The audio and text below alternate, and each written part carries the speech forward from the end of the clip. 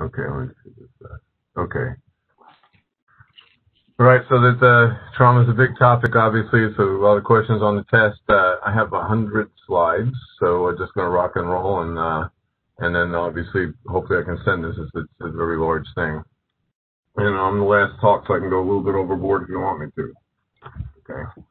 Um, You're the last one today, sir, so, uh, you know, however long you need. So uh, trauma systems, you just should know it. A trauma system is composed of the trauma centers and the EMS system. Number one trauma center basically can do everything, has all the specialties. It's also a leader in trauma prevention, education, and research. Uh, level twos should have almost all the clinical powers of a level one, perhaps some things like uh, implantation and things like that, maybe not. They also need to participate in prevention, education, and research. And uh, and then level three center, centers are there to resuscitate, operate on trauma emergencies, basic things, and perhaps they need to do have uh, transfer agreements with uh, other subspecialties for advanced ortho, neurosurgery, things like that. In pre-hospital care, some of the latest trauma triage protocols. They they have protocols to show where they should go, what kind of trauma center, the closest center. Uh, we practice scoop and run. They get the patient as fast as you can to the trauma center and do uh, interventions in the ambulance. If an airway can't be, um, okay. If a uh, airway can't can't be maintained, uh, if an airway uh, can be maintained by bag mask, that's the way to go. Don't try and intubate uh, unless you have a, a, a special uh, someone with advanced techniques. Uh, decompress the chest with no breath sounds and hypotension. They might have tension pneumothorax and it gives you a license to do it, but they have to be in shock also. You don't hyperventilate brain injuries anymore. Um, don't give uh, too much fluid. Uh, uh, the uh, INO catheters are used in patients in arrest and severe shock because you get them in faster than um, than, than.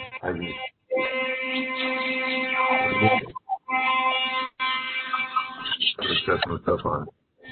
Um, the use of tourniquets is back, uh, obviously to stop the bleed, direct pressure. Uh, we allow Ancef now in the ambulance for open fractures in the first hour. Some ambulance companies are using TXA for hemorrhaging patients in shock. And, uh, and you can clear C-spines in the field with the Nexus criteria, which I'll go over some of that. We have tourniquets everywhere except the neck. Okay, you should know the Glasgow Coma Scale, of course. Uh, patients who have uh, are considered comatose if they are eight or less. The Glasgow Coma Scale is used in a revised trauma score. Patients, the highest number you can get is 12. Really, any number about 10 or less, uh, patients are considered for a higher uh, trauma alert or code um, and should be going to a major trauma center. Uh, these are the kind of triage trauma uh, guidelines that you probably have in your own hospitals. You should be aware of them. Uh, basically, the, uh, the, the highest tier of trauma responses to patients in physiologic abnormalities and penetrating injuries to the torso and various other things that you can see there, just so you're kind of aware. Of course, initial assessment and management, primary survey, A, B, C, D, and E, airway breathing, circulation, disability, and exposure. The secondary survey is a complete physical exam. Your adjuncts are x-rays, usually just a chest x-ray now in the trauma bay, your fast exam, and possible CT scan plus minus if they need it, or if you or if they're not uh, hemodynamically unstable. Emergency intubations like chest tubes, airway, things like that done. Uh, resuscitation is done to a, a degree with a crystalloid, usually just one liter now, and if the patient needs more, uh, then uh, and, and, and if you think they're seriously hemorrhaging, you should initiate a massive transfusion protocol. Tertiary survey uh, is done within the first 24 hours to capture missed injuries, which can be a rate of 8 to 12 percent.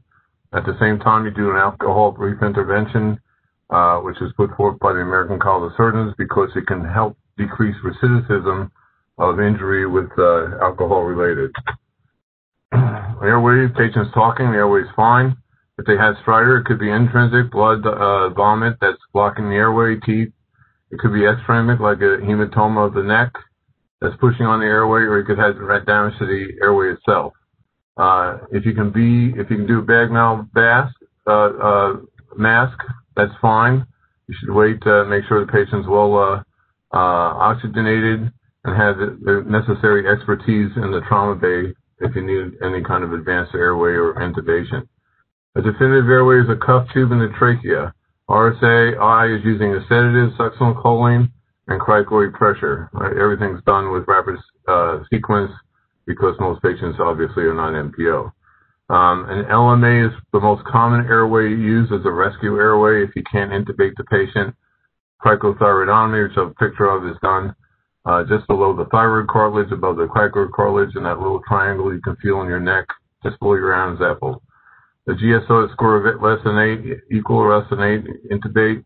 Uh, if the patient has an inhalation injury with burns around the face, certainly any carbonaceous sputum, they should be intubated um, because they'll lose their airway in transit. And patients who are in bad shock should also be intubated. There's a picture of cric, membrane there. You've been there. You can, if you can't get a, you try a six tracheostomy. If you can't get that in there, use a six endotracheal tube. So uh, chest trauma, if you have no breath sounds and you're in shock, they get a chest tube or at least decompression. You can the old way to do it was decompress at the second intercostal space, mid uh, clavicular line with a big needle. Some people just advocate going right ahead and, and doing a uh, chest tube or at least a decompression with your finger, especially if patients are in rest. If a patient has penetrating trauma, think chest tube, especially if they're in shock. Um, if they have penetrating trauma in the box or even out of the box, they're shown that they can still have cardiac injuries. Make sure you do a fast a cardiac tamponade. Massive hemothorax is defined as 1500 cc's or greater than 300 cc's an hour over three hours. Thoracic emergencies are tension pneumothorax, cardiac tamponade, bronchial tear, massive hemothorax, and an open pneumothorax, which is really a tension pneumothorax. And you can see some of the other uh, things which I'll get more into in my thoracic trauma part. Um, uh, you check for pulses. Usually you can feel a radial pulse at 80, femoral 60, carotid 40. Um, you see levels of shock there. Patients had normal vital signs in level 1 up to 15%, 15 to 30% tachycardia is the key. They also be aware of a decreased pulse pressure, and patients usually say they're thirsty, so those are all good signs. Over 30%, you're, going to be an obviously shock with hypotension, kidney will be obtunded, and of course 40% uh, the severe shock and they're on death's door. Level three and four most likely, well, four will definitely need a massive transfusion protocol, and unless that level three responds quickly, resuscitation they might need also. Responsive resuscitation is responsive, non-responsive, intermittent response where they blood pressure and, pulse get better, but then they get worse again, a sign of ongoing bleeding. Other forms of shock and trauma are neurogenic from a cervical spine injury, and of course obstructive from a tension pneumothorax, tamponade, or post-resuscitation shock. Um, always, always give the patient fluid and blood until you're sure about one other cause of shock. The exception, of course, being tension pneumothorax. Access is too large IVs. Think of an IO early, and then uh, once you have access with the intraosseous catheter, you can go for a central line. Usually, you put a central line in uh, up in the chest if the patient has an abdominal trauma. If they have chest trauma, you put the central line in the femoral vein.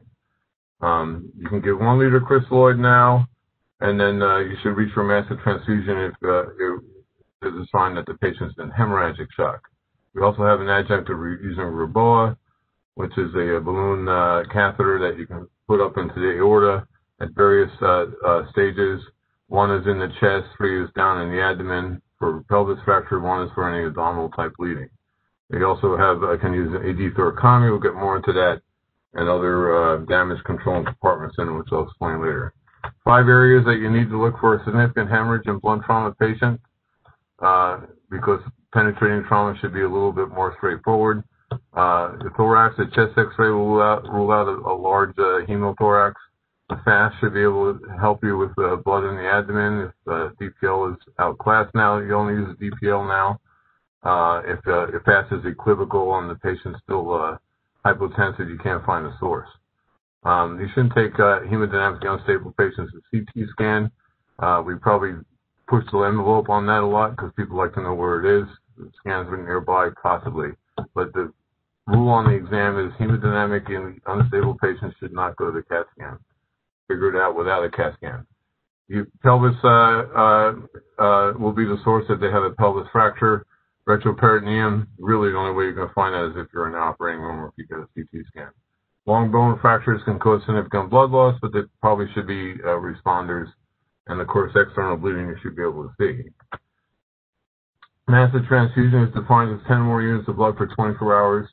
Uh, patients present with metabolic acidosis and hypothermia, high risk of coagulopathy.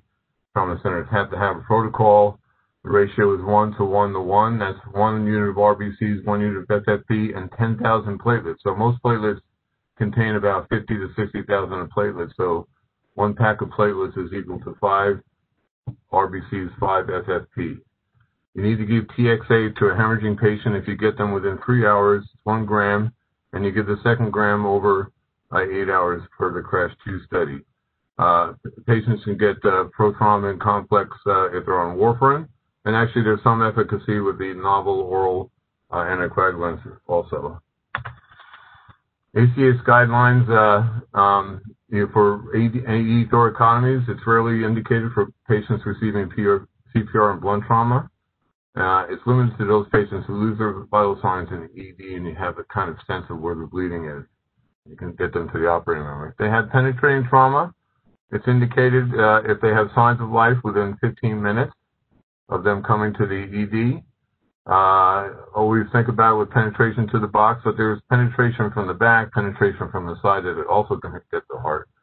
Usually the patients you can save have cardiac injuries where you can, and they're dying of a pericardial tamponade, which you can relieve. Now they're dying of bleeding, but there's sources that we'll talk about how to deal with that. Um, uh, if they have other injuries in the abdomen or the chest, the survival rate is much lower. Indication for kids is the same. Um, for disability is a, a, GCS exam and checking movement of arms and legs. We're looking for spinal cord injury also. And for exposure, especially important penetrating trauma, you need to know where the holes are. You check under the seat collar, you check in all the cracks and crevices. Make sure you cover the patient up to avoid hypothermia after you've done the exposure. For brain trauma, hyperventilation is bad because it decreases the blood flow to the brain, except if you have an acute dilated pupil and you're on the way from the trauma bay to the CT, then you can keep them from herniating uh, temporarily. If you have a dilated pupil in the trauma bay, use hyperventilation and mannitol unless the patient's hypotensive. Please avoid hypotension with brain trauma. It increases their uh, morbidity and mortality by 400%. Hypoxia is second. Uh, you don't use steroids for brain trauma. Decompress the brain on the side of the dilated pupil. You can see in the picture the dilated pupil on that side the same side of the brain. That's where it's going to be 97% of the time. You avoid hyponatremia in brain trauma. You avoid hyperglycemia in brain trauma. When you do need to correct for hyponatremia, don't do too fast. Not more than 10 milliequivalents per day. You can get central myelinitis. Cerebral salt wasting, SIDH, and DI are all part of brain trauma. SIDH, which is uh, inappropriate uh, uh, secretion of the uh, antidiuretic hormone, is with is with hypervolemia, and so uh, so the patients are usually not dry. Cerebral salt wasting is from a natriuretic peptide that causes hypovolemia also, so that's the way you make the difference between the two. And DI is the 300 rule. You should have 300 uh, uh, higher serum osmolality and 300, less than 300 urine osmolality. If a patient develops DI and they have a bad brain injury, it's usually a bad prognosis. It means that they've killed off their hypothalamus. You can get a DI though if you have direct injury to your hypothalamus or pituitary gland, so that's not necessarily a bad prognosis if the patient otherwise is doing fairly well. Um, an epidural uh, hematoma you can see there is associated with a fracture, especially in younger folks. Usually get the classic lucid period after a brief loss of consciousness. It's, the middle meningeal artery that's bleeding. Um, in older folks, it tends to be from their uh, sinus system. Um, you need to operate in, in, guidelines are greater than one centimeter thick if you have a shift with any decreased uh, coma scale. And if you operate and evacuate this, they have a good prognosis because they don't, this, uh, unlike this patient on the CTC, they usually don't, don't necessarily have brain injury underneath. They die from the increased pressure. On the other hand, acute subdural hematoma, they do have brain injury underneath, so it has slightly worse prognosis. Uh, um, but still, obviously, people can do well to get decompressed. Same sort of guidelines: a centimeter, a shift of a centimeter, a shift with a low GCS. Uh, survival is better and recovery better in younger patients. Subarachnoid hemorrhage uh, from brain trauma is usually peripheral, as you can see there. Uh, it's mostly in the sulci. Uh, these patients don't necessarily need an operation, but they should be monitored if their Glasgow scale is less than 9. Um, you can do that with intraventricular ventriculostomy, which is preferred because you can drain the CSF. If you can't do that, they should at least need a uh, parenchymal uh, monitor. Uh, craniectomy can be considered for uh, for refractory uh, high ICPs. This is what a central subarachnoid hemorrhage looks like, most likely an aneurysmal bleed, just so you know the difference. Um, for contusions and trauma, frontal and temporal contusions are common, especially if you hit the back of your head or the front of your head. And It could be a contrecoup from the back of the head. They actually get worse in four to five days, so the patient needs to be observed. They will blossom. They need to be observed closely. They can herniate, especially temporal lobe ones that can herniate from the side. Punctate hemorrhages, uh, diffuse axonal injury from high impact injuries, hemorrhages in the axon, uh, represented as CT. Uh, their ICP could be high, it could be low. Um, prognosis is generally poor.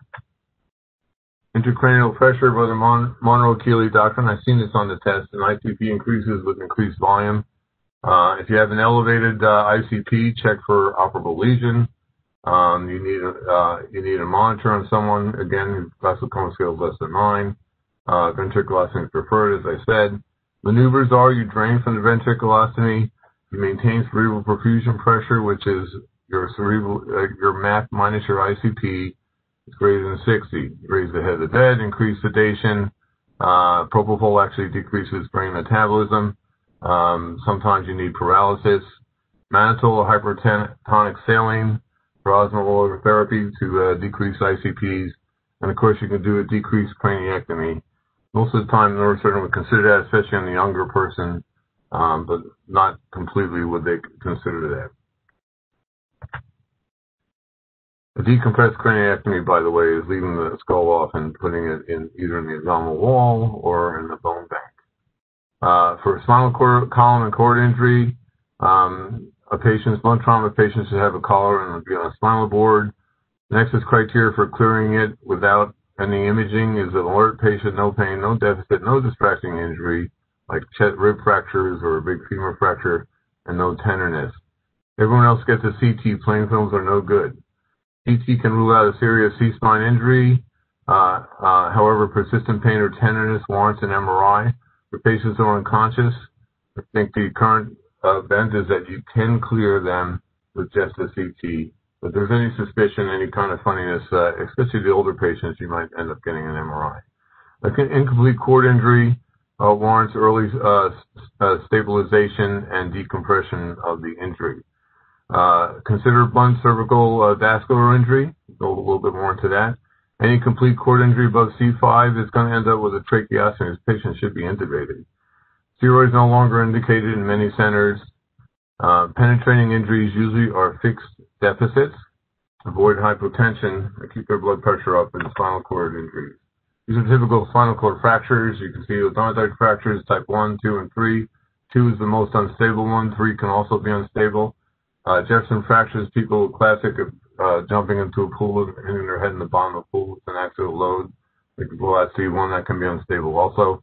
Of course, the classic hangman fracture got the name, of course, from hangman, and uh, its posterior element, and that is also unstable. Most common fractures, um, oh, chance fractures are highly unstable, free column fractures.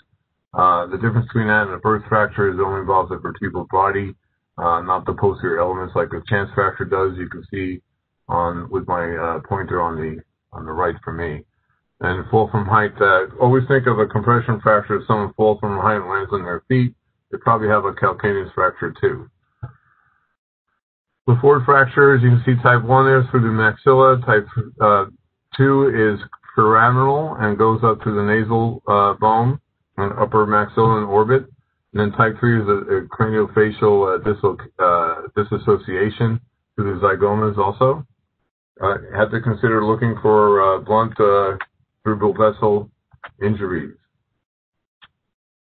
For orbital fractures, you need to check for entrapment. You need to uh, check for a retroorbital hematoma. Could lose your vision with that. Check for hyphema. Always do a visual exam.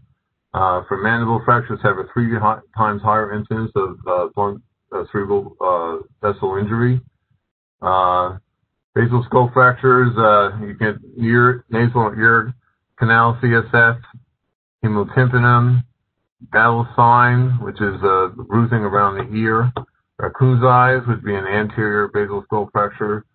Um, there's no need for antibiotics. You'll select out organisms and always check for facial nerve function if you have a, a basal skull fracture in the back.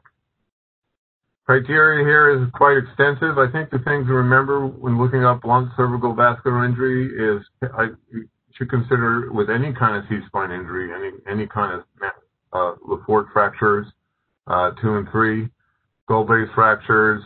Uh, most places will do it with patients who are unconscious with severe brain injury. So there are centers that will do pan scans that include a CTA of the neck as part of their pan scan you can have the you can have a protocol to do that. The chest images might not be as great, but they'll, be fine. Um, for treatment, and you can see the how you distinguish them there. Uh, basically, uh, uh, uh grade four probably doesn't need to be treated because it's a total occlusion.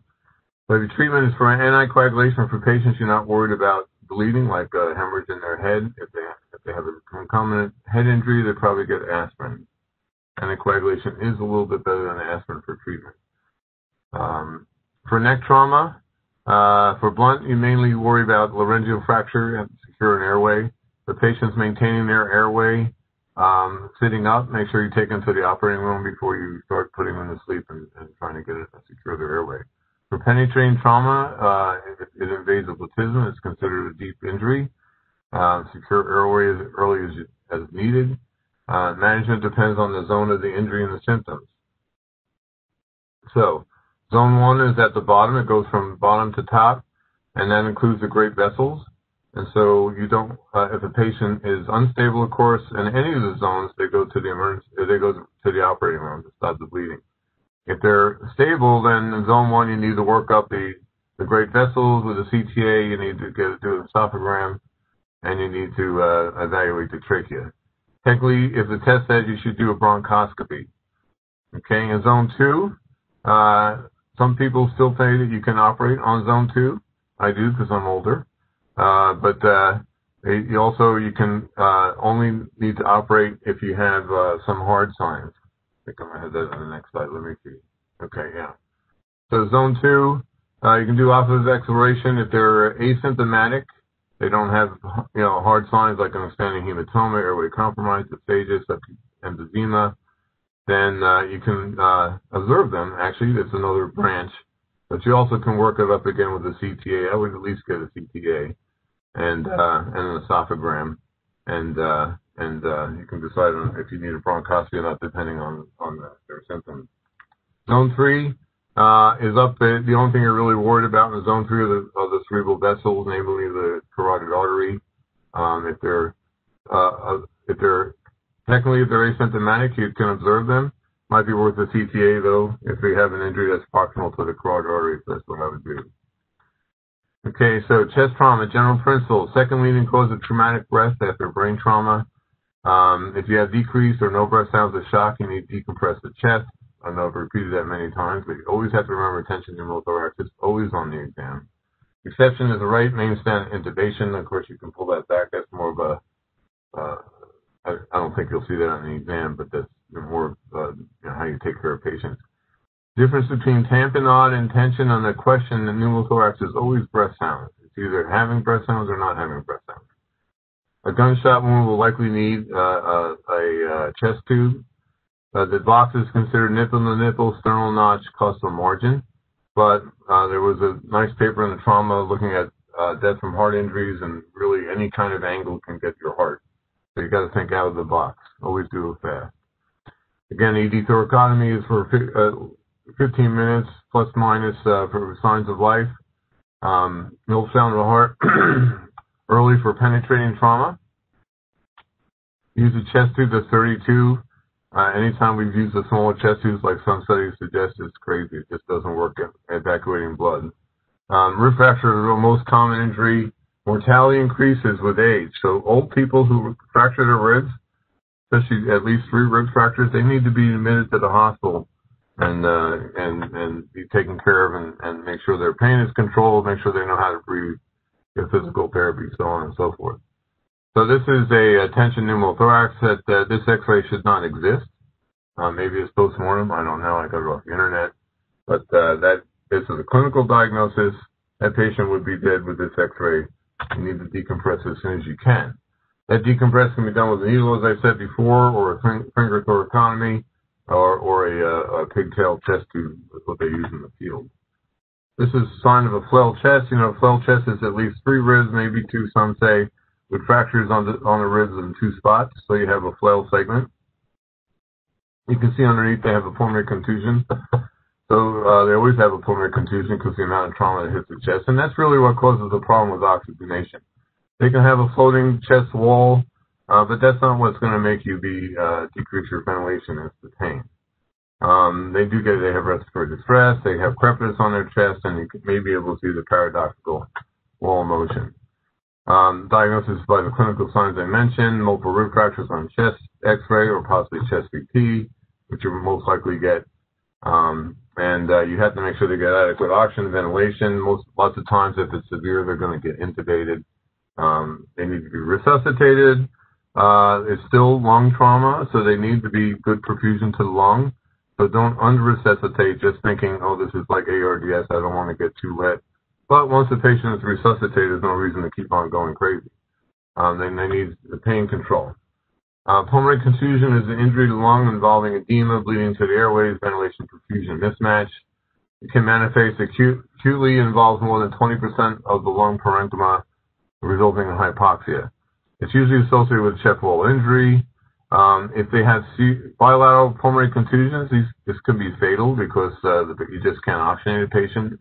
These are the kind of patients, if you can get them to ECMO early, it would be uh, life-saving because these actually get better in about four to five days. Um, blast injuries, by the way, can cause bilateral, people die of bilateral, bilateral pulmonary contusions or brain contusions.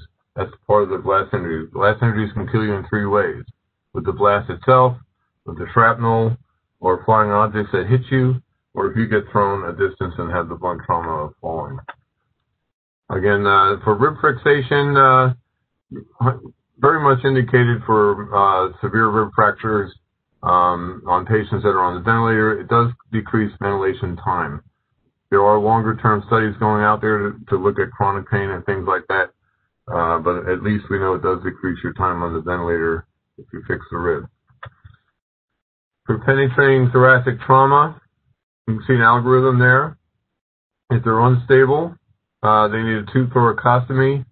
And uh, if you have high output, you need uh, a, thoracotomy. Always take a look at, at the heart with the best if you're going to do a thoracotomy emergently, uh, like a decompressive thoracotomy. If they're near cardiac arrest, you're going to find out if they have fluid around the heart when you open them up. Um, but you do your fast if you're not sure exactly which way to go and, and you have some time to get to the operating room. Um, with regard to being stable, uh, you get your chest x-ray, chest tubes as needed, uh, get your uh, ultrasound of your heart, um, and it, again, think out of the box. Um, and if you get your, once you get your chest CT, if uh, it's a gunshot wound, we'll talk about transmediastinal injury. So it's fast uh, with a pericardial effusion. It's a subxiphoid window. You can see the right ventricle, atrium, and so on. So that the patient is hypotensive. It could be that that's causing it. Chest wall incisions. The resuscitated thoracotomy is down here. Uh, lots of times, especially if an injury on the right, or if you want more room, uh, you'll end up with a clamshell thoracotomy. This trapdoor is used mainly for subclavian, subclavian injuries. If you can't get exposure when you do a subclavicular view, you go down the sternum and then come across here, so you can do a trapdoor. Median sternotomy is for the great vessels if you know the injury is there, um, or if you somehow you know the injuries to the heart and the patient's relatively stable, so you can plan. And then a posterior lateral thoracotomy, of course, is to on the right is good for esophageal injuries. Um, I mean, it's good for tracheal injuries. Uh, all the tracheal exposed on the right. On the left, uh, for lower esophageal injuries, and of course, any of the vessels on the left side. Uh, for injuries to the tracheal bronchial tree, these patients could have a massive air leak. They usually actually present with a tension pneumothorax, and then they get a massive air leak. um, and uh, you can confirm it with bronchoscopy. If their leak is so bad and you can't oxygenate them because everything's going out the chest tube, if it's on the left side, push the tube into the right lung. If it's on the right side, get your bronchoscope and intubate the left lung. You can also look for the injury with your bronchoscope. This will temporize the patient so you can get them to the operating room. For long lacerations, if you uh, encounter them in a ED thoracotomy, you cross clamp the hilum with a DeBakey clamp or any kind of vascular clamp that will cover it. Um, you have to take down the inferior pulmonary ligament to do that. You also need to take down the inferior pulmonary ligament to get a good shot at the aorta as a cross clamp that. Uh, injuries, you can suture, staple, do a tractotomy to find the source of bleeding and, and suture that. Uh, you can do an anatomic resection if it goes down to the pulmonary vessels. Bronchial injuries should be repaired. Um, they need to be covered with toro muscle, the leak. Um, a traumatic pneumonectomy is high mortality rate, but if the missile does it, then that's the way it goes. Um, of course, you need chest tubes afterwards. There's an atrial injury there. You can see it was lip stitch closed, which you can do with atrial injuries. For cardiac injuries, you need to relieve the cardiac tamponade that may have what made the patient go into rest as a hemorrhagic shock. Uh, they have a better chance of survival. The cardiac tamponade did it because they uh, basically they're, they're, uh, they didn't have a shock state for a long period of time and then just stopped. Um, right ventricle uh, is the most common area injured, especially with stab wounds. For stab wounds would have the higher survivability, less damage to the heart. You, lots of times you can gain control with the finger. Um, for atrial injuries, you can partially occlude and suture, just as you saw. Uh, you can't do that with the ventricle. Your sutures will tear out. You need to repair with pledgets. It's good to try and see if you can just control with your finger and get the patient up to the operating room. Perhaps you can put the patient on bypass if you have control. You can use a Foley balloon. You can put it in there and, and just have to make sure you don't put too much traction on it so you make the hole bigger. You can also use skin staplers. It works. Um, you want to try and avoid the coronary arteries, but of course you have to stop the bleeding, so as best you can. You want to move the patient to the hemorrhage uh, OR, uh, where they might be able to go on bypass and get a better examination repair of the heart. You always have to look for other injuries in the heart if they had a penetrating trauma to internal injuries or if you have a posterior injury, good luck. But uh, um, if you but you need to look for internal injuries if uh, everything's stable and the, and the patient looks repaired. Uh, there's an injury to the ventricle. You can see the pledgets. Okay, bronchial tear uh, with a uh, pulmonary vein injury can give you a massive air embolism. That's how Princess Diana died. Uh, it can be relatively stable when you get intubated and all of a sudden you go into cardiac arrest. In order to fix this, you need to do emergency thoracotomy, cross-clamp the hilum, internal cardiac massage, manual ventilation of the left atrium and ventricle, and definitive repair in the OR. Good luck. I don't think I don't think anyone can really be saved with that. But the main thing is to to get a patient where they need to be um, and recognize it early, so you can get them to the operating room perhaps, and and, and at least take the fistula, uh, you know, cross clamping the hilum will will be save them. Um, for transmediastinal gunshot wounds, they need to be worked up. You think of it like a neck injury in your chest. So you need to look at the esophagus, you need to look at the trachea, the thigh, and you need to look do a CTA. Now, uh, if the missile is anterior mediastinum, you don't necessarily need to do, rule out the esophagus with the esophagram. But anything that's near the esophagus needs to get an esophagram uh, or a scope. Esophagram is probably a little bit better. If you do both of them, you have a higher percentage of catching an injury. And if you, again, if you have tracheal injury, you do a right thoracotomy to fix it esophageal injuries distal, you do left thoracotomy, um, and either upper or the right thoracotomy. And, uh, and, uh, you mobilize, debride, and patch these injuries.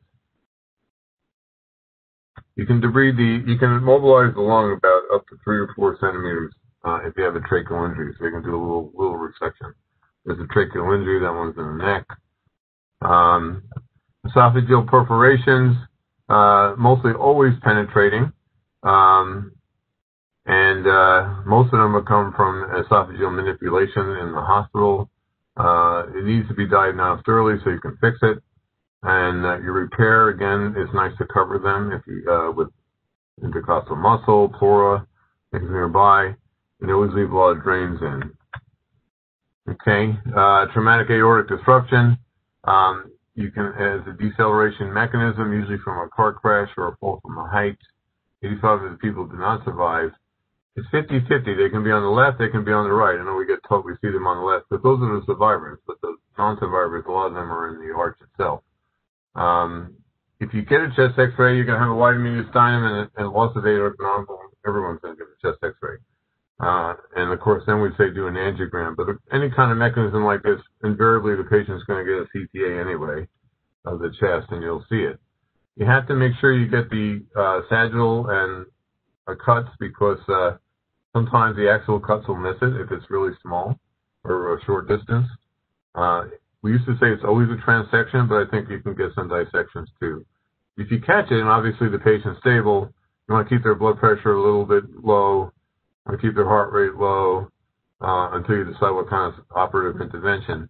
It used to be young people got open repair, older people get the patients high risk at endoluminal repair. But everyone gets endoluminal now because the incidence of spinal cord ischemia is much less. We do an endoluminal stent, so that's the way it's going to be done. Um, some patients, if they have severe life, other life-threatening injuries like a brain injury or things like that, offer non-operative intervention and uh, they can be controlled. And some people can live for a long time like that. Perhaps later uh, they can undergo a, a stent. This, of course, is a diaphragmatic hernia. That would be from a blowout, most likely blunt trauma because the stomach's pushed up in the tract. Of course, if you have any kind of penetrating injury near the diaphragm, you need to rule out a diaphragm injury. If the patient's stable, they get a CT, they have no other injuries. I kind of like to do my uh, laparoscopy a day later to see if anything else manifests itself. Go in there and then fix the diaphragm. Um, you can do it laparoscopically. Um, if uh, the patient needs, if, if you need to, you can also do a laparotomy. Um, most likely, you want to do uh, you want to do laparoscopy because you get a chance to see the abdominal organ too. Um, it, a blunt diaphragmatic rupture is usually big, but it may not manifest itself in the first 24 to 48 hours. So people do have delayed diaphragmatic ruptures. If it's if you catch it uh, at the time of their injury, you do laparotomy because 50% of the patients could have something in the abdomen that needs to be fixed. Um, if you find it late, you usually have to fix it with a thoracotomy because it's going to be stuck. The organs are going to be stuck up there and you need to push them down, uh, dissect them off. Um, significant, always remember in blunt trauma that significant hemorrhage from the chest may be due to abdominal organ injury. I've seen this twice where the spleen was hemorrhaging with a diaphragm injury where they were bleeding out their chest tube. So uh, keep that in mind. Uh, if you have a stomach injury and a diaphragm injury at the same time, make sure you take time to clean out that chest. If you don't, you'll get guaranteed empyema. Okay. Um, for blunt abdominal trauma, consider a mechanism. If they're uh, if they're not stable, uh, you need to make diagnosis with an ultrasound. Again, one might use DPL if uh, if an ultrasound is equivocal. You take them for a laparotomy. If uh, they have, if it's negative, then you have to look for the other regions which we already discussed in blunt trauma for bleeding. Um, and then, uh, and then again, if it's uh, you can do a DPL if you if you, you just can't find it.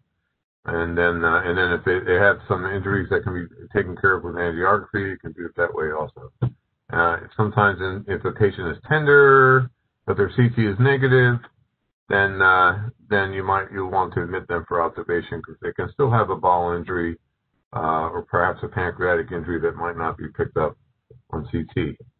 Um, if they're stable, again, uh, that that's kind of answers that stable side. You do an abdominal CT. Uh, you see what kind of injuries they have. If it's something that can be non-operative management, you do that. If they need a laparotomy, you do that. Um, if the uh, patient is alert, uh, you can do an ultrasound, um, or you can just observe them. Uh, depending on the mechanism of injury, you don't necessarily have to do a CT. And um, again, if a patient has tenderness, you might want to, uh, you'll have to admit them anyway just to observe them because CT may not pick up a bowel injury. This is just showing one view of the FAST on the right side with the uh, in Morison's pouch with the kidney and the liver, some blood there also. You also look back at the diaphragm. I didn't put everything in here. Same on the spleen side. On the spleen side, you definitely have to see the diaphragm because more blood will collect there first before it gets between the kidney and the spleen. Um, so, five, of all the CTs done in one study, all CTs done for blunt trauma, only 5% of them are, are positive, something you need in, in stable patients. So if they have a, a, a low mechanism of injury, like many patients with falls that hit their head, they don't necessarily need a CT. They fall through bike and they're and then they're awake and alert, and then you can do a, a good exam. Uh, they don't necessarily need a CT. People who think you should CT everyone will point that you can have some missed injuries. Not not all of them need to be operated on though. For people who should probably scan, seatbelt signs, peritoneal signs, tenderness, uh, femur fractures uh, because it's distracting, lower rib fractures, definitely, you'll definitely miss uh, spleen or liver injuries if you don't. Of course, if you have a positive FAST. Um, chest x-ray uh, can be good for nose, no other imaging, sorry. Uh, if you have free air or diaphragm injury, but I tell you, if you have a stable patient, they most likely will get CT, but on the exam, you can, if you see a diaphragm injury, that you can do a laparotomy, so you gotta fix that diaphragm. If you see free air, uh, they'll probably need a laparotomy also. Um, so a DPL, just in case it's, you, you might still get a question on it, those are the numbers. 10 cc sees the blood or, or the numbers you see there. Um, if it's a, uh, a, penetrating trauma patient, it's usually 5,000 to 10, uh, uh, 10,000 RBCs. For uh, penetrating trauma, anterior abdomen, um, gunshot wound, uh, it's fine to if the answer is take the patient in the operating room. I would say that. Okay, you're going to find an injury over 90% of the time. Exceptions might be just uh, from a, a, oral type question uh, would be that if you have a, a if they're perfectly stable and you have a tangential looks like a tangential wound, you can CT them. And also some centers will watch patients that get shot in the liver uh, if they're stable and so high right upper quadrant wounds. Of course, you have to get a CT to show kind of damage you have. Um, plain films would be the only time you get plain films of the abdomen is to check for gunshot missiles. Um, in my opinion, I think that's uh, probably there. So if you have a stab wound, if you have hard signs that you see there, then you operate on the patient. If the humerus is unstable, peritonitis, evisceration, blood from the GI tract, impalement. Um, otherwise, you, uh, most people would do a local wound exploration. If it goes penetrates the anterior fascia, that's enough to do some sort of either laparoscopy or a laparotomy. You can choose laparoscopy uh, uh, as your uh, thing of choice if you uh, if you if you want to make sure. Uh, if your patient, you can also uh, uh, do serial physical exams if uh, you don't necessarily need to do a local wound exploration. I don't know if that's going to be on if the test is caught up to that, but uh, it's it's possible. But do lo- local wound exploration. Um, you can do a CT and observe. Uh, again, CT might not catch a subtle uh, bowel injury. Um, and then, of course, there's the DPL numbers there. If you have a flank or back wound, the patient is hemodynamically stable, of course, you want to check uh, uh, for hematuria. But you also want to do a CT with triple contrast. Um, at least make sure you get the rectal contrast. I think there was a question we saw that said rectal contrast, didn't necessarily say oral contrast. Make sure the patient gets rectal contrast so you can see the colon, which is in the flank. For damage control, you want to stop the bleeding and contamination. Resuscitate then in the ICU. Um, uh, the, you would do an ED thoracotomy for abdominal trauma if they arrest right in front of you in the ED and, and uh, or if they're in the OR and, and you're with the imminent laparotomy plan. Of course, you can use a REBOA if your center does it. You want to place this one in zone one up in the thorax uh, to stop the bleeding from the abdomen. Um, for solid organ injuries, you want to control the hemorrhage. Uh, remove, of course, if it's something like the spleen that you can remove. For vascular injury, you need to repair, shunt, or ligate. For bowel injuries, you staple and do not repair. Uh, the pelvis, uh, if the pelvis is bleeding, do some preperitoneal packing. Or if you're already open the abdomen, you can do pelvis packing too if they're bleeding in the abdomen. Uh, and then you might want to send the patient over to IR for uh, pelvis uh, to stop the bleeding that you can't see. Um, and also IR is good if you have packed liver. I would get uh, send them over to IR also just to see if there's any kind of arterial bleeding they can get rid of before you go back to the operating room. Uh, you want to leave the abdomen open to avoid compartment syndrome, um, but you might want. You want to make sure it's a little bit tight because you want to use some of that compartment uh, pressure to stop the bleeding. Um, uh, so for trauma laparotomy, prep from the neck, neck to the knees, a generous incision, pack four quadrants, let anesthesia catch up if you stop the bleeding. I remove the packs from the quadrants that weren't bleeding first, uh, and then you control the source of the bleeding. Um, you want to run the ball from the esophagus to the rectum. You have to look at every little inch of that ball. If you see a uh, hematoma in the wall of the ball, near the ball wall, you need to explore it because they could have an injury underneath that hematoma. You want to look for any retroperitoneal hematoma. You have to check the lesser sac at the end of the case. Make sure you see the pancreas in the back of the stomach. And then you can either decide on what type of closure depending on what you did and what kind of injuries, if they need damage control or not. So you can see the uh, uh, splenic injuries there. You always like to think spleen and liver, grades one through three. One is one, two is in between one and three, three is three, and then uh, it gets worse after that. Um, down here, you can see a grade four injury, uh, grade five, shattered spleen, lots of hemoperitoneum. This is showing a pseudoaneurysm of the spleen. Um, so if the hemodynamically unstable, you go to take the patient for a splenectomy. If it's the only injury and you've controlled it, you can do a splenorrhaphy, use argon beam. You can do a partial splenectomy, use pledgeted sutures to close it. I always I use mesh on all my successful splenorrhaphies, and if I decide to do it, they've always been successful. Of course, you can use some fibrin glue too. Um, you got it when you do splenectomy, or uh, what you can uh, entail is you might have an injury to the tail of the pancreas, which will cause a subphrenic abscess. And uh, you always have to be careful when you take down those short gastrics, you don't uh, uh, injure the greater curve of the stomach. So for non-operative management, they're hemodynamically stable. Some people let them actually get a couple units of blood to save their spleen. Of course, uh, nowadays you should send them to angiogram if you're doing that. Um, you uh, uh, about roughly so the rule is it's, it's not perfect, but every uh, grade of spleen has roughly a 10% per grade, so it's actually kind of like 6 or 7% for grade 1, but it goes up to 35% for grade 4, so you can see what I mean. So all grade 4s and 5s now need to have go to IR and they usually get emboli. So if they're stable in a grade 4 or 5, they should go to angiogram. Also, you consider going for embolization if the patient has a pseudoaneurysm on their CT scan and also for consider for slow blood loss, like the units of blood here, lower subcapsular hematoma. Uh, Post-angiogram, they might get some splenic pain. They could get an abscess, which you can take care of uh, later. Uh, of course, if you take the spleen out, you have to worry about overwhelming post-splenectomy sepsis. Uh, it's lethal 50% of the time from encapsulated bacteria. You know about strep pneumo, um, uh, meningitis, and uh, hemophilus. And uh, it's not as bad for people who get their spleens out for trauma. It's mostly for the more the uh, the uh, uh, the hemo the hemo uh, uh, conditions, uh, but it's real, and especially for kids if they get their spleen out early. You want to vaccinate them ideally two weeks, but everyone gives the vaccines before the patient's discharged because they don't they want to make sure they get them. They might not come back. Um, and then it's a good idea to think about having a med bracelet saying they don't have a spleen uh, prescriptions for penicillin or ampicillin and education. Uh, so this is a sonography and fibrin glue. This is the kind of mesh that you use. Absorbable mesh works really well. So the anatomy of the liver you need to know, of course, you, need to know that for your liver stuff anyway.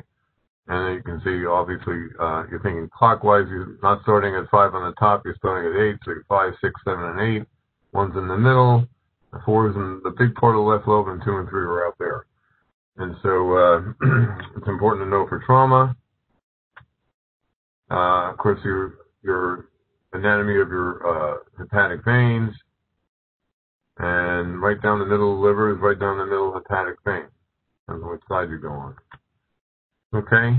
Um, so hepatic trauma only operate on them if they're unstable. You can make diagnosis by CT 98 to 99 percent of the time. If they come in stable, they'll stay stable. Um, and then if you are in the operating room, uh, you want to pack first. And if packing uh, stops the bleeding, then you do some formal packing. Show some pictures. Um, and uh, and then if the, bleeding has stopped, then you finish your damage control. You might not end up closing the patient uh, because you're going to come back, obviously. And then you want to go to do IR in between. If packing doesn't work, you need to do a Pringle maneuver, which is uh, uh, basically cl- uh, clamping with a vascular clamp or a vessel loop around the hepatoduodenal ligament. That includes the portal vein, portal hepatic artery, and the uh, biliary tree, uh, which is not your, necessarily your purpose, but it's there. Um, if it works, uh, then ligate. If it works, then ligate the obviously bleeders that you can see, open vessels, release to see the bleeders, repeat. You know, always give them yourself a drink every like 15 minutes. If you continue uh, bleeding, you might have hepatic vein injury, uh, IVC.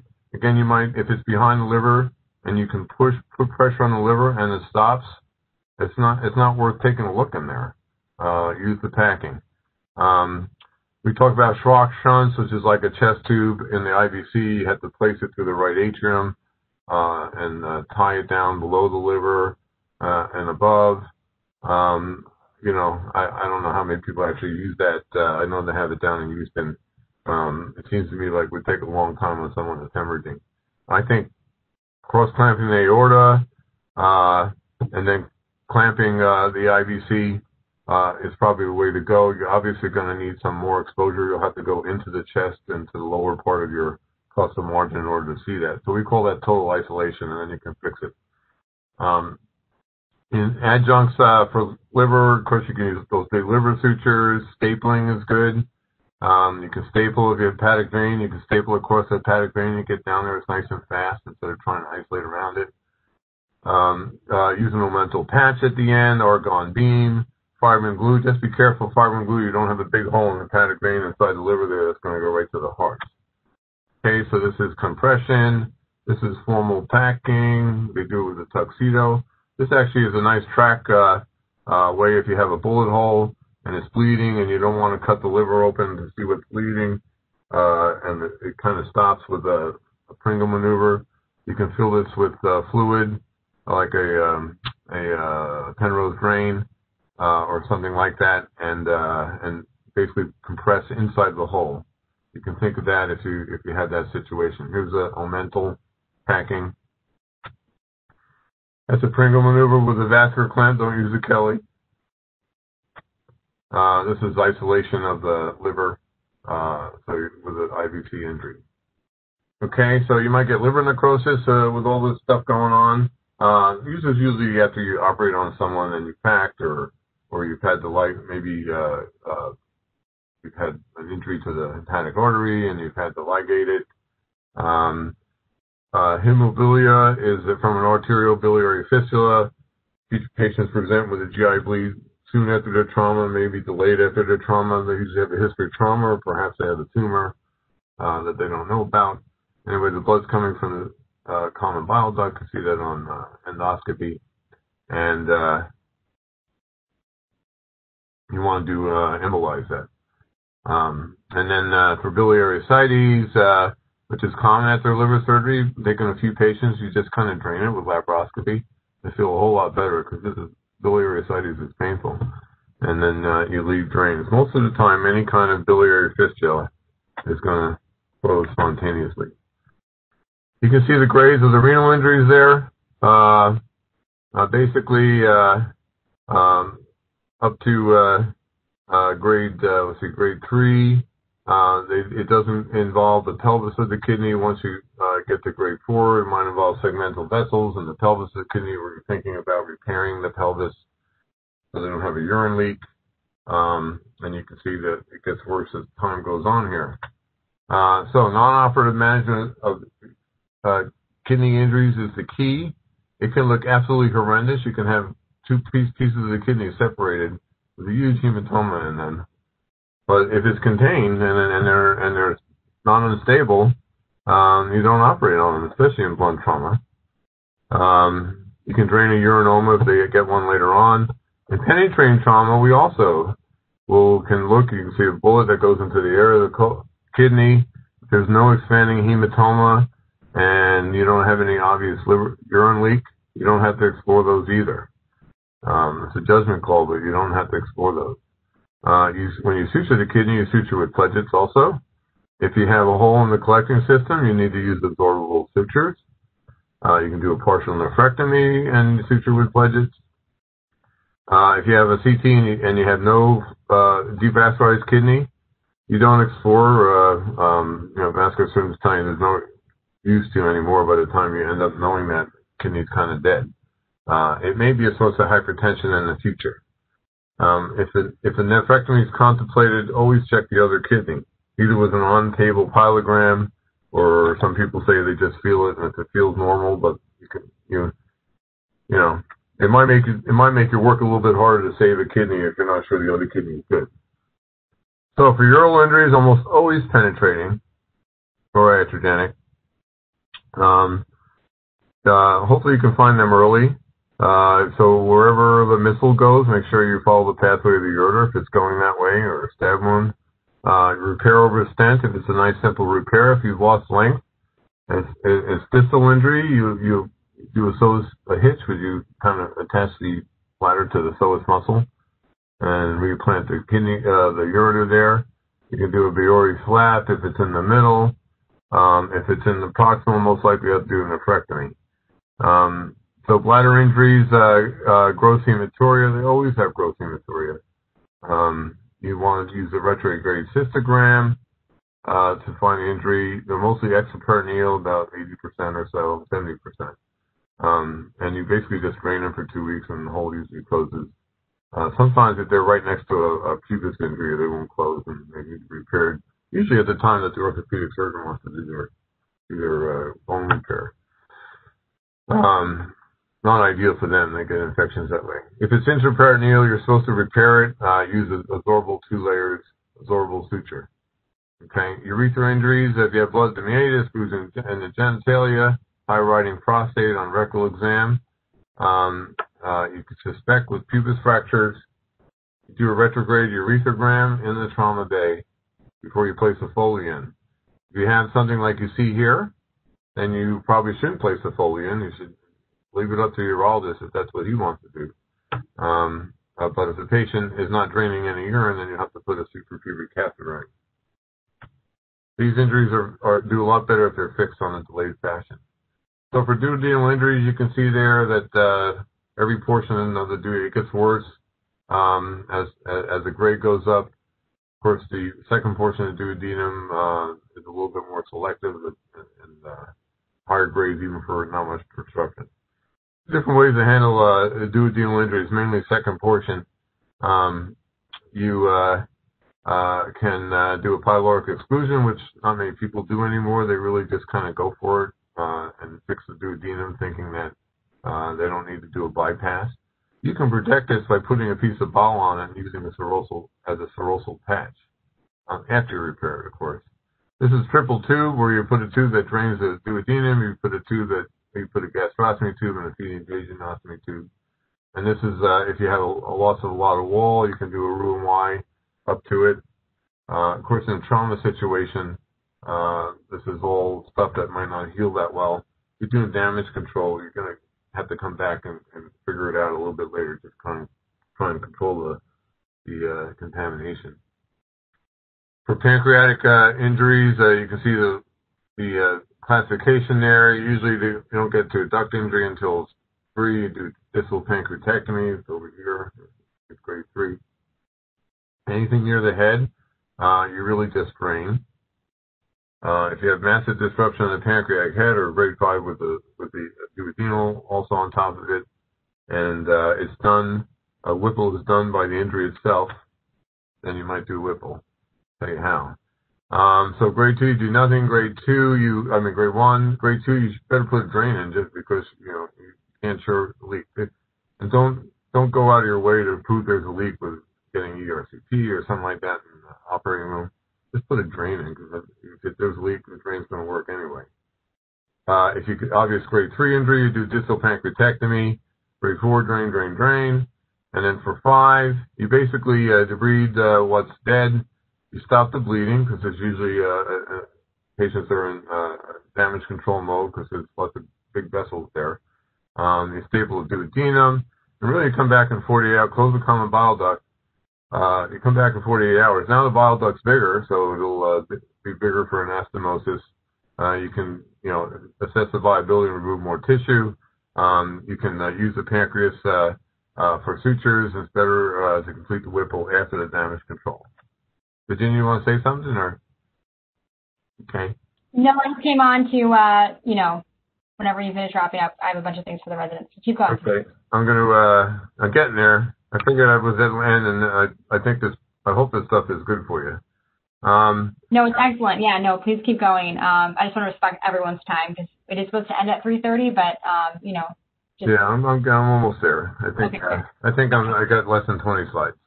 So okay. stomach injury is pretty simple. Fix the hole, but make sure you always look in the back. So if you get an injury to the anterior stomach, you always got to look at the posterior stomach. Um, and you can see if you have a real big injury, you might have to do a resection and, and do a, a anastomosis. Uh, blunts uh, will be a blowout. This happens to kids actually a lot, little kids, toddlers, so be careful. Uh, don't miss it on them. I've seen two of them. And you always need to look for that diaphragm injury. Small bowel is pretty easy, very more common in penetrating trauma. Uh, you can either close the hole if it's small or uh, resect and, and, repair them transversely, so you don't want to try and get the maximum width out that you can. Uh, very unusual to get a blunt uh, uh, bowel injury, but you can with seatbelt, handlebars, compression against the spine. If you have a chance fracture, you have to think about it, especially around L1 or T12. Uh, high index of suspicion uh, with thickened bowel. You can see it on CT now. CTs are getting better, but might you just keep in mind it might not see it, and so you might you need to keep the people around if they're tender. Thickened bowel, straining of the mesentery for your of course, that's a hard sign. If you're pre-flu without a solid organ injury, you have to be highly suspicious.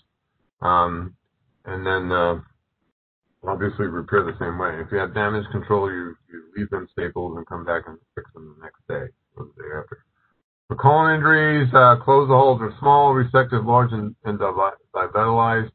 Primary repair is the way to go with left colon injuries now. It used to not be the way. But if you have it, use a lot of the colon or significant other injuries with rear shock, you can do a colostomy. You can always in damage control uh, leave everything stapled and come back and fix it uh, when you come back.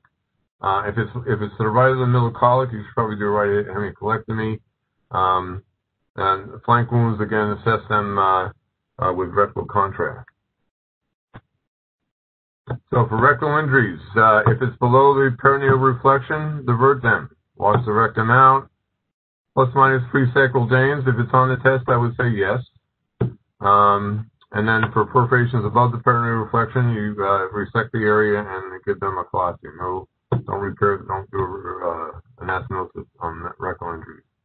For transpelvic gunshot wounds, you need to check for rectal blood, consider proctoscopy, you need to check for gross hematuria, and then uh, you obviously need to assess the pulses in the leg. Likely to get a CTA anyway. Uh, if the patient's stable. If they're unstable, then you're, you're going to find all that stuff in the OR.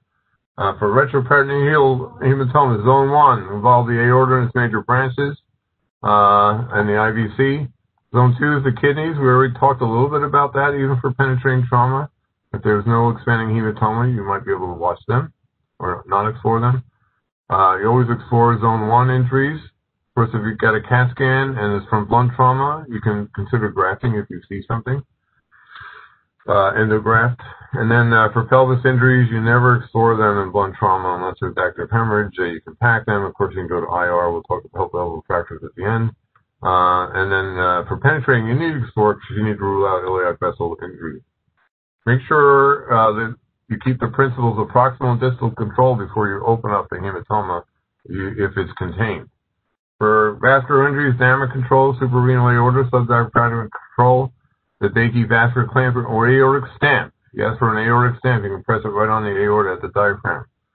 You might need to do a Mattox maneuver to see the left side of the aorta and the viscera and the uh, vessels uh, vessels on that side and the SMA and the celiac axis. For the IVC and the right renal vascular Cattell maneuver, which is manipulating everything from the right to the left with the right colon. Basically, you're taking down the left colon and the right colon on what side you are, and the spleen and pushing it all over uh, see the aorta. For people who have approached the aorta in the old vascular days that way to repair an aneurysm, you might have seen that, but I guess you'll never see that again.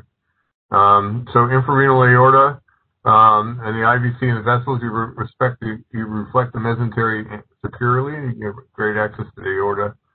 Uh, you may have to transect the right common iliac artery, that's what we said, to get access to the right common iliac vein, which is behind it.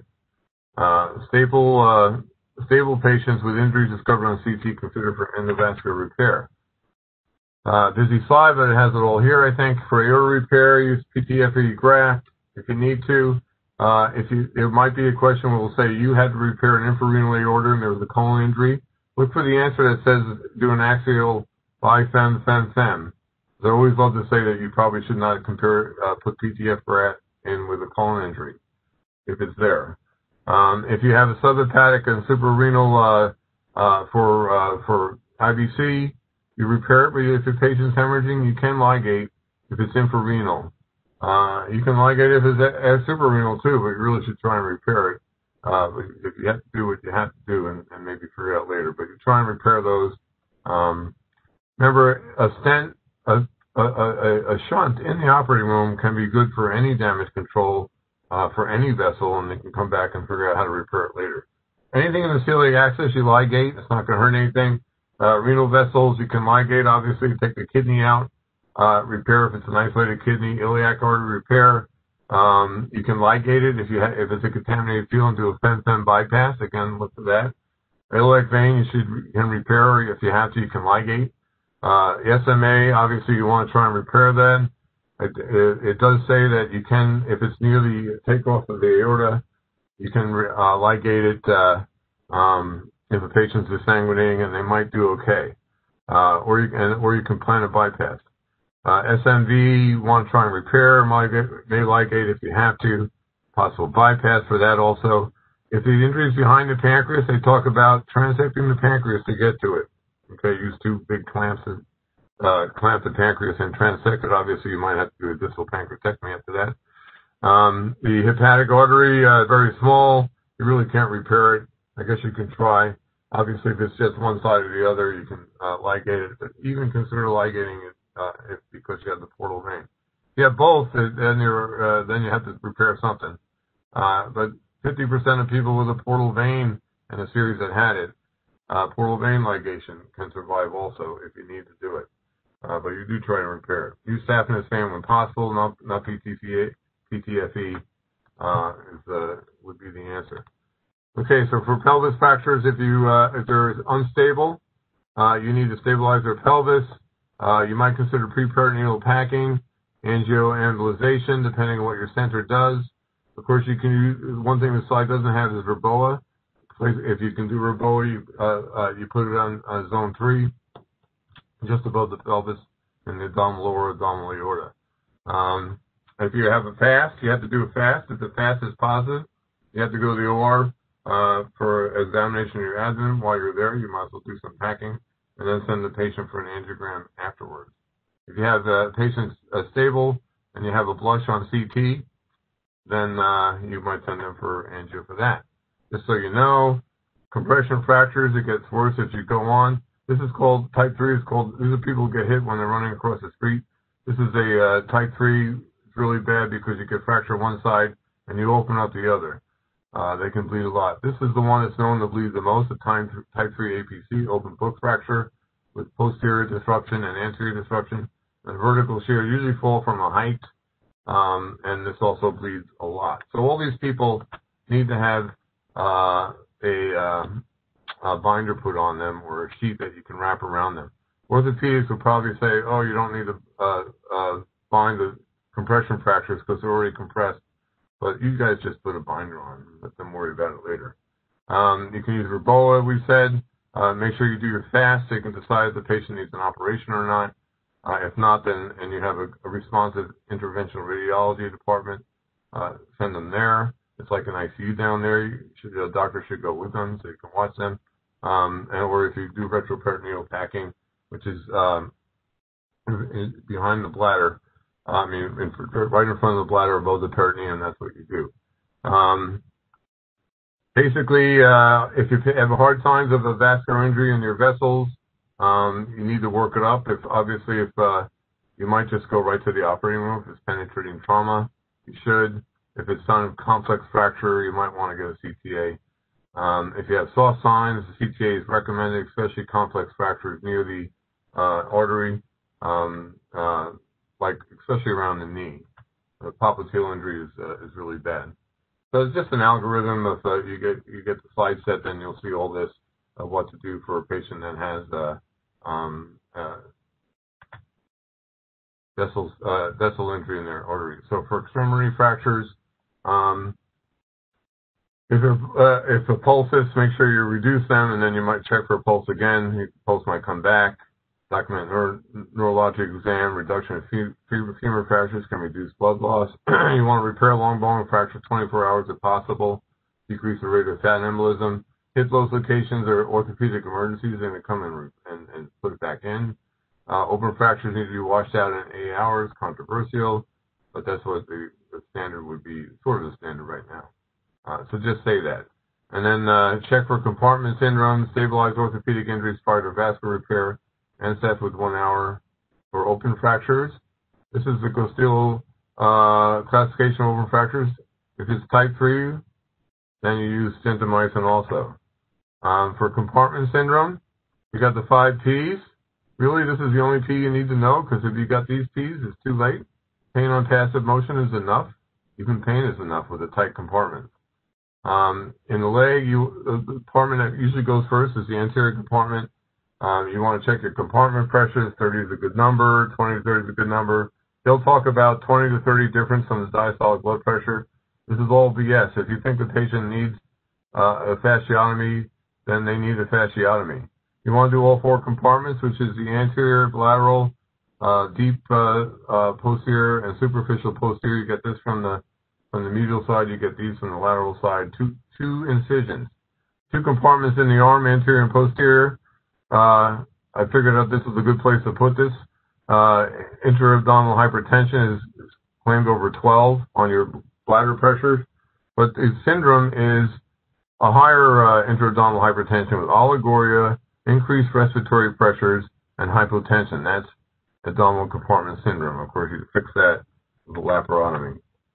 So pregnant women uh, hypovolemic, so uh, uh, they can tolerate shock. So be careful of them. Fetal distress can be an early sign of uh, shock in the mother. Save the baby. You have to save the mother.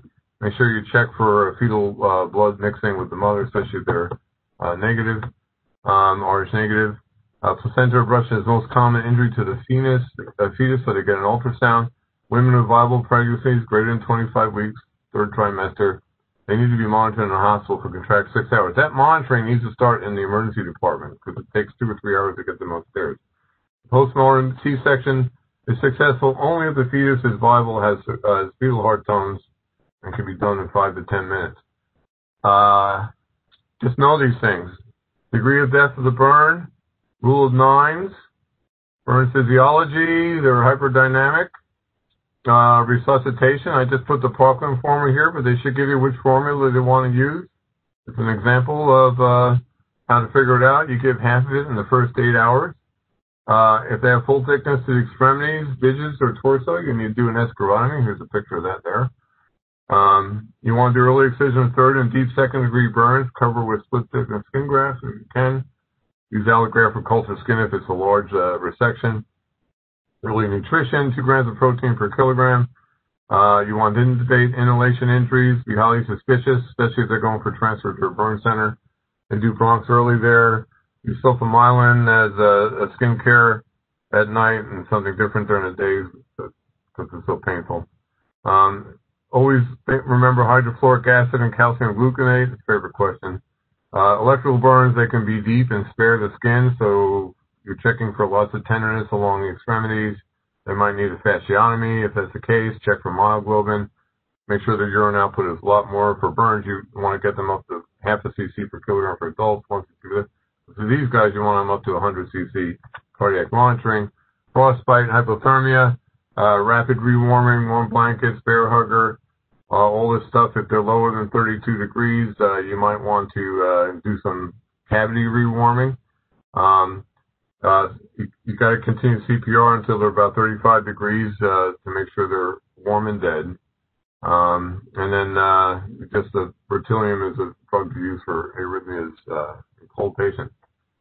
For uh, frostbite, rewarm, uh, they have superficial and deep at four degrees, but basically they're white skin on, on superficial, really dark skin on deep. This is grade one here. uh, pink skin. Uh, you want to rehydrate and and we do use intravascular thrombolytics, so so placing a, a catheter in their artery and putting some TPA down there if it's within 24 hours. Um, and you always wait for weeks to help demarcate and debridement, and that's it. Awesome. Thank you so much. Uh, a few questions from the audience. First one is, is it true that needle thoracotomies are done at the anterior axillary line, either in the fifth or um, fourth intercostal space? Yeah, basically at the fifth intercostal space, which we say basically right below the nipple, um, for a woman in that intermammary fold. Okay. Um, what is, uh, can you expand a bit on the correct boards technique or a DPL?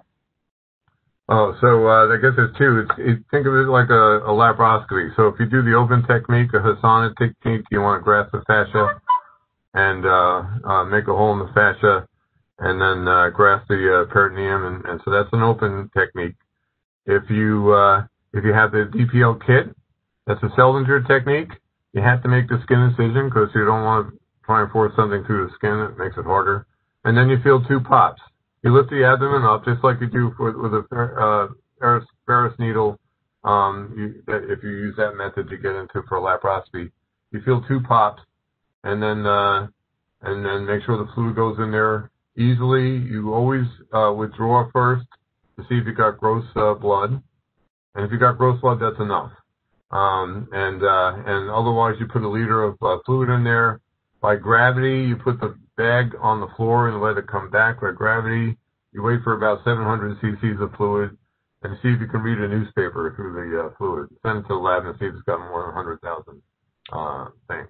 Lots of times in this day and age, you you do DPLs to see if there's bowel injuries for contamination. Lots of, sometimes we do it in the ICU, but that's how you do it. Great, thank you. Can you please um, touch on rib fixation and plating? Uh, what, what about rib fixation?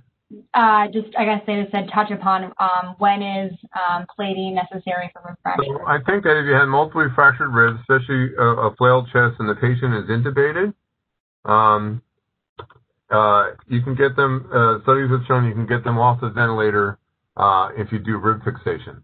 I think if you have a patient that has multiply fractured ribs and a lot of pain and is not intubated, uh, I think that people who do rib fixation would also fix them then uh, to decrease their pain. One one thing uh, is that patients who have a flailed chest, only 50% of them um, go back to are able to go back to work because of chronic pain. So that study is still ongoing as to how it decreases chronic pain and, and pain and, and, and lifestyle. Okay. Sorry, I'm in the hospital. Uh, are there any roles for ligating the internal mammary artery during a resuscitative thoracotomy? Uh, usually, if uh, usually they're not bleeding if you're doing a, a, a resuscitative thoracotomy, but if you're successful, they'll start to bleed, and yes. Okay. And then last, for diaphragm repairs, when to use mesh and what's the size cutoff for that? I tell you, it, it, you can you you can see a huge hole in the diaphragm when you get in there, but you put a few Babcocks on it, and uh, and uh, you start pulling it together. It actually comes together pretty nicely. So uh, I didn't say how to repair it, but basically uh, I do a um, mattress uh, suture with permanent uh, suture. Could be Prolene uh, um, uh, and uh, uh, and big suture. So number one or zero. And you might need to use a mesh if you have a big injury towards the center of the diaphragm where it's more less muscle and more ligament and you can't get it together. You might have to use mesh then, but you'll be surprised even at huge injuries, you'll you'll pull it together. Sorry. All right. Well, that's all the questions that they have. Um, thanks, Dr. Dwyer, so much for that huge, comprehensive discussion on trauma. We'll see you tomorrow afternoon for critical care. All right. All right. Awesome.